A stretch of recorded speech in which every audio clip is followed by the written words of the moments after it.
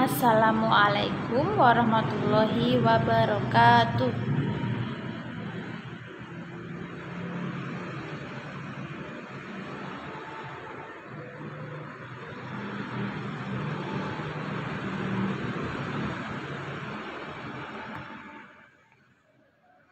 Good morning everyone. Selamat pagi anak-anak.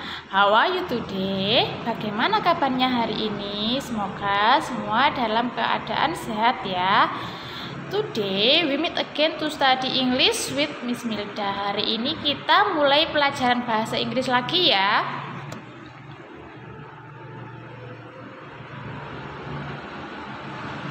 Nah, sebelum kita mulai pelajaran hari ini, marilah kita berdoa terlebih dahulu. Semua tangannya diangkat ya, kita berdoa. Ila hadratin Nabi Ila hadratin Nabi Mustafa Rasulullah Sallallahu Alaihi Wasallam wa ala alihi wa ashabihi wa zuriyatihi wa ahli baitil kiram wa ila hadrati syekh Abdul Qadir Jailani wa ila hadrati syekh Hasim Asyari wa ila muasasah tarbiyah islamiyah Kebonsari wa ila asatidina wa talamidina wa walidina lahumul fatihah a'udzu billahi minasyaitonir rajim. Bismillahirrahmanirrahim. Alhamdulillahi Rabbil Alamin الرحمن الرحيم. مالك يوم الدين. إياك نعبد وإياك نستعين. اهدنا الصراط المستقيم.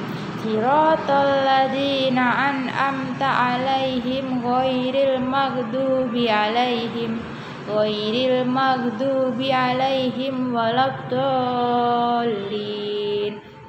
Rabbik firli wali walidayya walil mu'minina amin.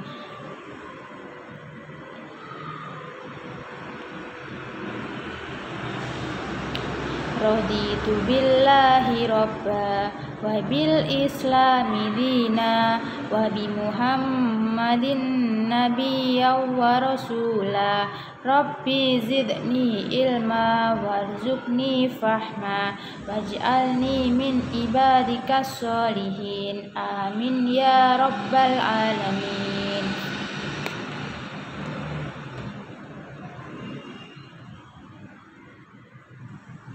Allahumma sholli sholatan kamilatan wa salim salaman taman ala sayyidina Muhammadin illadhi tanhalu bihil uqadu wa tanfariju bihil kurabu wa tuqda bihil hawaiju wa tunalu bihil ibu wa husnul hawatimi wa yustasqal ghamamu biwajhil karimi wa ala alihi wasbihi fi kulli lamhati wa nafasi wa nafasim bi adati kulli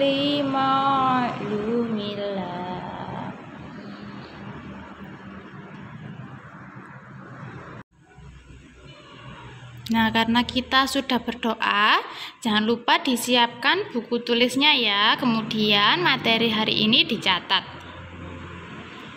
Today we are going to learn about Hari ini kita akan belajar tentang parts of the body. Parts of the body artinya bagian-bagian pada tubuh ya.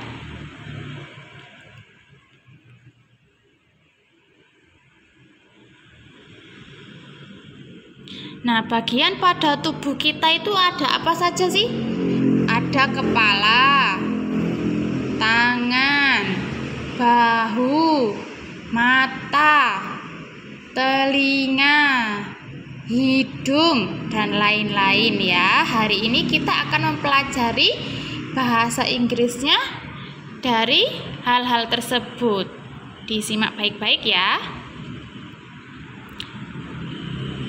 Head. Kepala, hair, rambut, eye, mata, ear, telinga, chin, dagu, cheek, pipi, nose, hidung, forehead, dahi, eyebrow, alis mata, mouth, mulut, lip, bibir, teeth, gigi. Ya, ini adalah bahasa Inggrisnya dari bagian-bagian tubuh yang ada pada tubuh kita. Selanjutnya,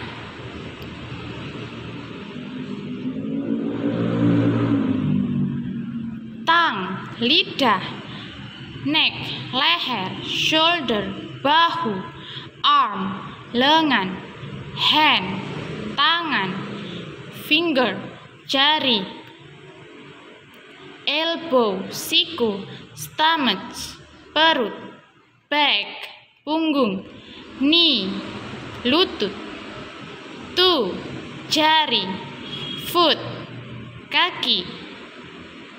Nah, sampai di sini diingat-ingat ya anak-anak ya materinya bahasa Inggrisnya dari bagian-bagian dari tubuh kita diingat ya supaya nanti ketika ada soal dan mengerjakan anak-anak langsung bisa menjawab. Sekian dulu materi kita hari ini. Semoga ilmu anak-anak bermanfaat ya.